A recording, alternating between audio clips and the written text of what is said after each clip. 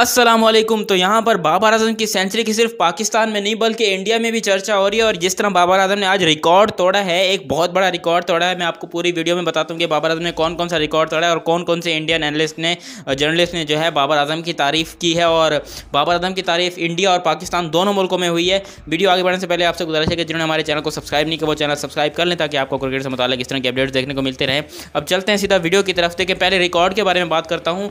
बाबर आज़म ने अपने चौहत्तरवें मैच में ही अपनी तेरहवीं सेंचुरी पूरी कर दी है और ये उनका रिकॉर्ड है, जबकि इससे पहले ये रिकॉर्ड हाशिम मामला के पास था कि अपने तेरह सेंचुरी मुकम्मल करने के लिए सबसे ज़्यादा मैचेस खेले आई थिंक उन्होंने एट्टी से ज़्यादा मैचेस खेले थे, जबकि यहाँ पर बाबर आज़म ने जो है जस्ट चौहत्तर मैचों में सेवेंटी फोर मैचेस में ये कारनामा अबूर किया और आज उन्होंने अपने करियर की थर्टीन सेंचुरी स्कोर कर दी, जो कि ना कि सिर्फ़ उनके लिए बल्कि पाकिस्तान के लिए बहुत ज़्यादा फ़ायदेमंद हुई, क्योंकि पाकिस्तान ने इस सेंचुरी के मुकाबले में ही अपना जो है मैच जीता है और साउथ अफ्रीका को धूल चटाई है साउथ अफ्रीका में। हालाँकि मैच बहुत खतरनाक हुआ और अगर एक रन भी हमें शॉट पड़ता तो हमें ज़रा मसला पड़ सकता था बट बाबर आज़म की तारीफ़ करनी पड़ेगी और आकाश चोपड़ा ने बहुत बड़ा स्टेटमेंट दे दिया। उन्होंने कहा कि कंटिन्यूज यानी कि उन, मैं अंग्रेज़ी में काम मैं पढ़ रहा था काफ़ी देर पहले, अब मैं भूल गया काफ़ी ज़्यादा, लेकिन उनने जो मैं आपको ट्रांसलेट करके दिखाया था उन्होंने तो इंग्लिश में लिखा है, लेकिन हमें इंग्लिश को ज़रा उर्दू में बताना चाहिए। तो उन्होंने कहा कि unstoppable Babar Azam continues with मतलब स्ट्रॉन्गेस्ट स्ट्रेंथ बोली थी उन्होंने continues with the strongest strength and delighted to watch इस तरह की कुछ बात की, इसको मेरे ख्याल से मज़ेदार लगे बाबर आज़म खेलते हुए, अगर मैं उर्दू में बोलूँ, मज़ेदार लगे खेलते हुए और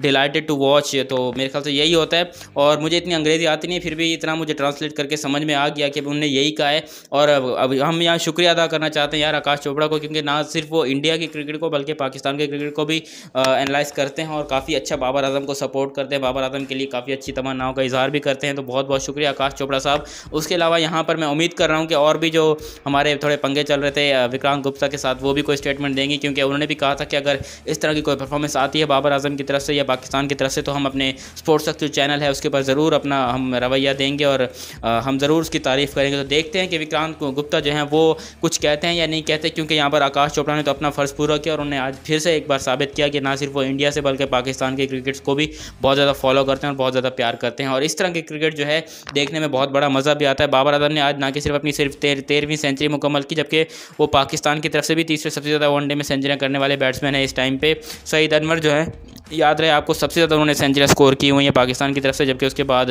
मोहम्मद हफीज़ हैं जिन्होंने चौदह सेंचुरी स्कोर की।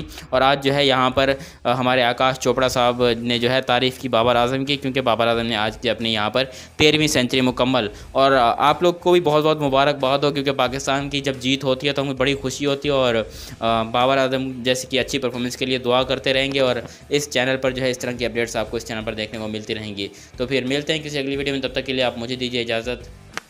नहीं पूरी तरह बोलेंगे ना। मेरा नाम है मोहम्मद जानत मिलते हैं किसी अगली वीडियो में। तब तक के लिए आप मुझे दीजिए इजाज़त। अल्लाह हाफिज़।